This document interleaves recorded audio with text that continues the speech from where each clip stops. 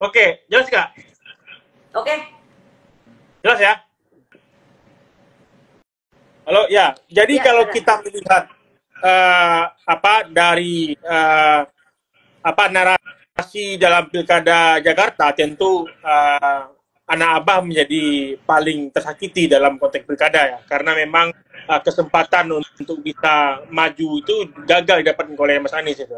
Dan meskipun itu soal gerakan ini juga melebar ke banyak wilayah, tapi yang paling eh, merasakan itu Mas Anies karena memang sebagai mantan calon presiden gagal mendapatkan tiket di pilkada gitu.